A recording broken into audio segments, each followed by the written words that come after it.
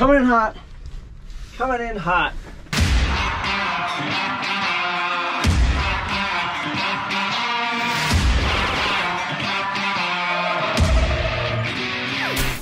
What is up, everybody? Welcome to the BurnDown YouTube channel.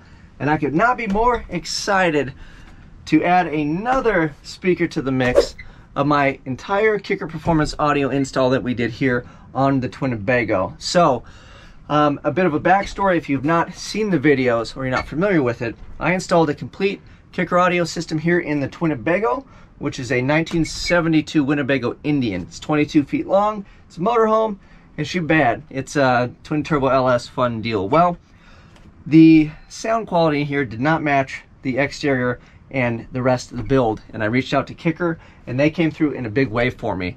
So what I did is I went with the Kicker comp line of components, amps, and a subwoofer to really put their value line to the test because I feel like a lot of you guys that watch this channel your DIY budget friendly, you know, budget minded guys. And if you had something you wanted to outfit like an older car where you needed multiple speakers, not just like a set, you know, if you needed a set, you might be willing to spend a little bit more, like if you're upgrading your truck or your car or something like that, like in a daily.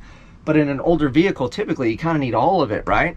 Well, then that's where the value line would come in because you need multiple speakers. You might need that sub and you might need an amp on top of that or two amps.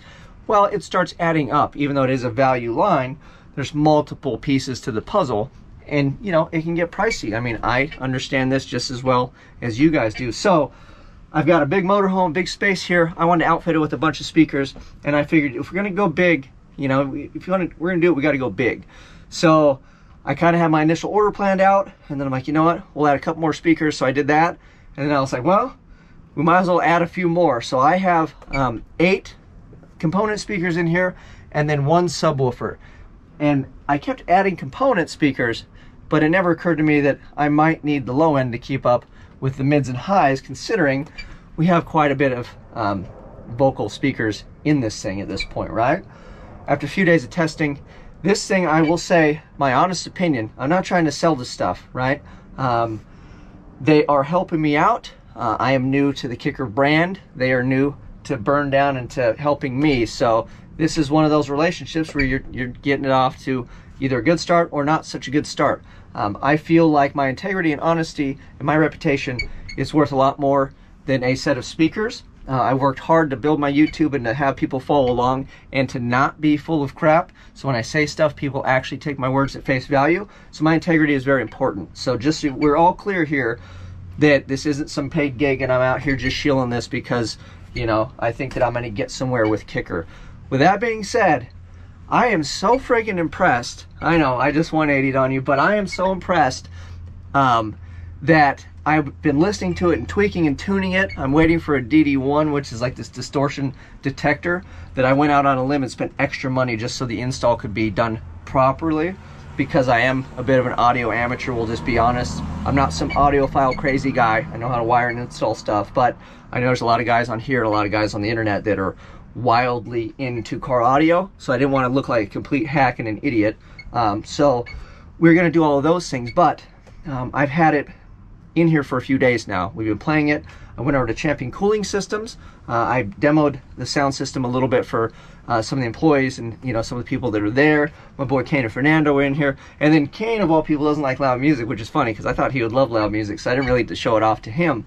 But what I've noticed is we've got way more headroom on these components than I had on the sub. I don't have my gains and stuff set properly yet, so everything's not turned up to the max, but we'll get it loud enough in here that I know I'm not really banging on anything or hurting anything.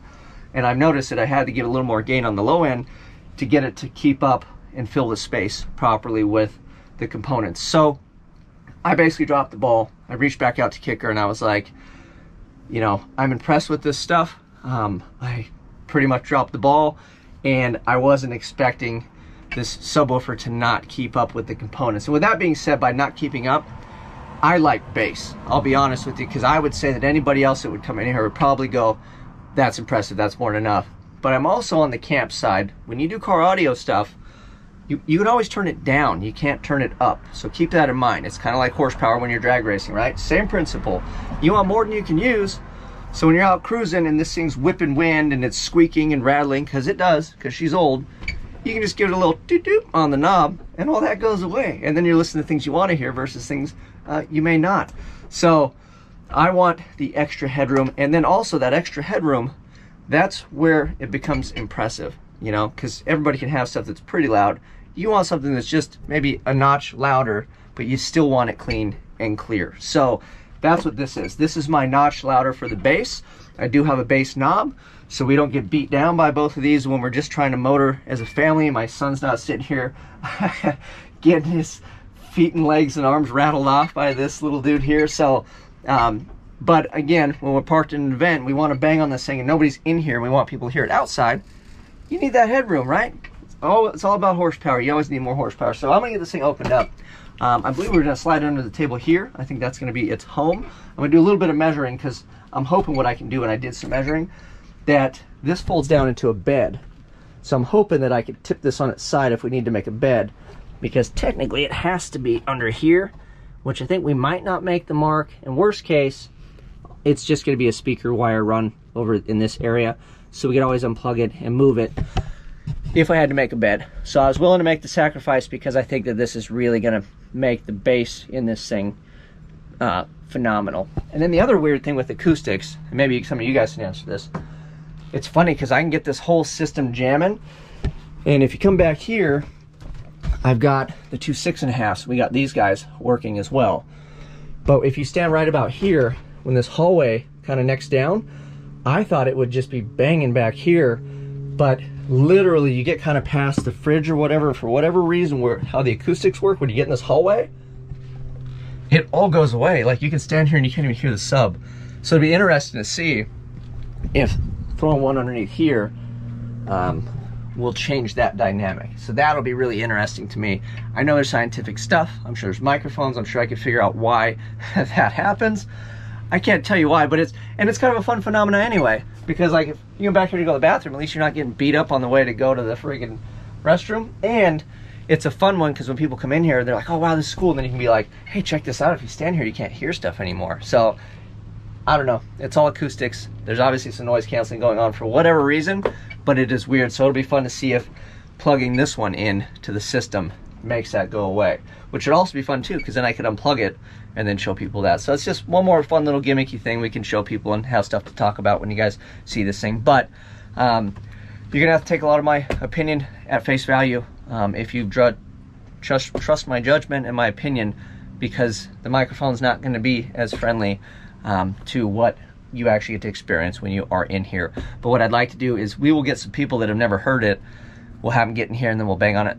Um, like my wife has kind of heard it from inside and she heard some of the stuff, but once we get this all lined out, we'll have to play some music and I'll turn it up and we'll just put the camera on her and this microphone can buzz or whatever, we'll fix that. But I just want to see like her reaction. We'll, we'll kind of do that to a few people too. So you can really see if people are impressed um, with it or not. So let me get this thing installed and we'll play with it a little bit and then uh, we'll bring it back. I want to be honest with you guys. Opening speakers like this never gets old. I could do this all day. They could steal the same one back up and I'd still open it and be excited. So um, here you go. Here's a look at it. If you didn't catch the other video, then you got your little warning, all your little kicker stuff. You can call and get some help if you need it. Let's see if I can move that. Look, this stitching is awesome too. It looks phenomenal. So at least under the table, you'll be able to see that because that is really neat. And then I'll dig it out of here. I'm not gonna try to do it one-handed. Um, it comes with all your information on here as well. Mounting feet, hardware, and then said subwoofer. And I'm gonna utilize this, I still haven't, but we're gonna put these mounting feet in to keep these things from kind of moving around uh, when we're motoring on down the road. So let me pull this out of here. I'll give you a look at it and then we'll kind of set it in there and see how she looks. So I ran the second sub. The cool thing is this has two outputs, right? But it's a mono block. So that is gonna be in parallel, which is gonna make these uh, two ohm instead of four ohm because there's two of them. So ran underneath there. This is the original idea, was have it facing the door, have it underneath there. But you can see it takes up a lot of footwell room. But let me show you guys what it sounds like. So we queued up YouTube friendly music. can get the idea. I don't know if that's distorting the mic.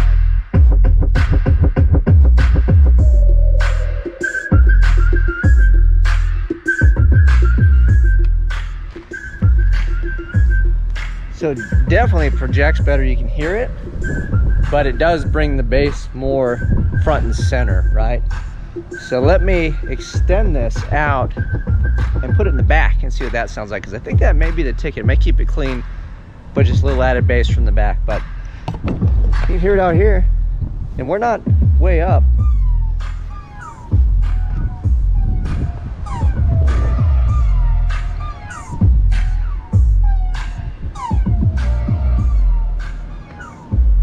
So, okay, let me pause it. So let me rearrange it. We'll push this one back to the back and then we'll put it dead center in the hallway and see how that kind of sounds. And then maybe we could tuck it in the caddy corner or whatever. So it's fun to just play around with it. I mean, that sounds great. If we get it, you know, more set on kill when I get my, you know, so we're not clipping this thing. I know, I mean, we're not all the way up for sure. And you can hear it out there way better. So having it there is gonna be better for the party outside. Let's push it to the back and see if it'll still kind of make its way out the door. Same volume level. Uh, we've got it in the hallway now. I just ran the cable over to the amp and we got the other one old trusty down there. So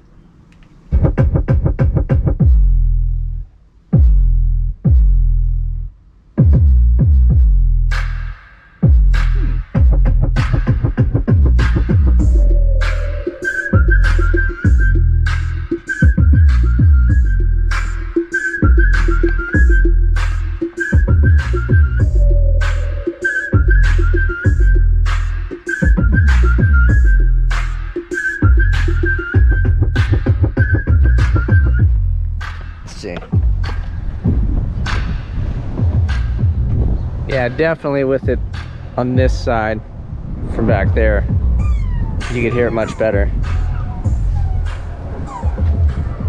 For whatever reason, it's crazy. It's got to be the shape back here is like a black sound black hole. I think the sound bounces around just cancels itself out or maybe all the deadening or something, but it is just, even with the thing here, let's slide it over and we'll give it another shot. But I don't think it's gonna get any better. So let me push that over and we'll hit play again. Just out of curiosity. Let's see. Just out of curiosity.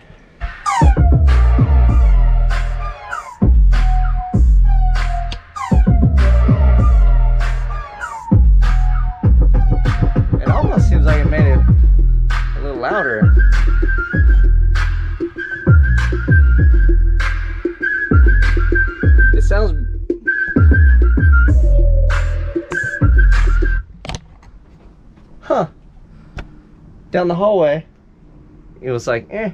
Then you stick it in the corner, and it's actually, you can hear it more from kind of both sides. So let's play it. Let's go outside and see. Same volume.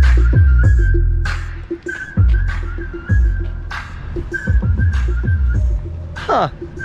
Stuffing it in that corner seems to like it better.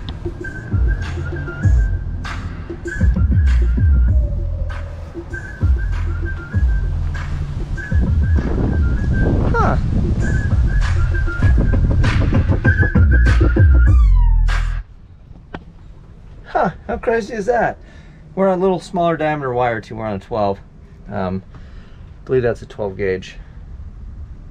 And then what is this? Maybe this is the 12 and then that's a little smaller. That's what I had, uh, 16, yeah. So that's probably killing some power in that guy back there, but acoustics, I know there's a lot to it. There's a lot of science. You can, you know, fill me in as much as you know. I know there's other guys in here that know much more than I do, but how crazy is that? You know, just kind of moving placement around. Over here it sounds good because it's loud, and then obviously we're on the thicker wire, so that helps. Um, but stuffing it back in the corner, you'd think that having it front and center, you'd hear it better, but maybe it's canceling it out, but then when you stuff it in the corner, it reverberates off of everything back there. So I don't know. I don't know the technical term. I'm sure Kicker would know why. To my layman ears, it sounds better stuffed in the corner, which is even better for me because I don't have to really mess with it, you know, pull it out or do anything with it.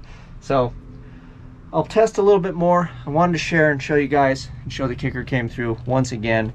Um, what we will do moving forward is I've got a request to test just components, just with the 6x9s, um, and then obviously you kind of heard a little bit with the subwoofers, but I want to get everything dialed in and get my gain set so we can crank this thing to where it goes wide open to really, I know that the mic isn't gonna sustain it, but I want to have every all my ducks in a row and instead of showing you guys and then figuring something out later, like, oh, it sounds better like this, I want to play with it a bit so it's to the best of my ability and then we can show it off and share it with you guys. So that's why I haven't jumped straight into testing stuff because um, we're still kind of working on it and tweaking it. But it does sound better, and we're gonna have to get a little more juice over here and play with this thing and play some different tracks uh, that are not YouTube friendly, so I can really listen to the difference and maybe plug it in and unplug it and kind of sit and see how much of a benefit that second subwoofer really brought to the party. But it sounds good, and like I said, we're low volume. I'm not trying to blow the mic out in this thing, so hopefully it wasn't rattling or whatever.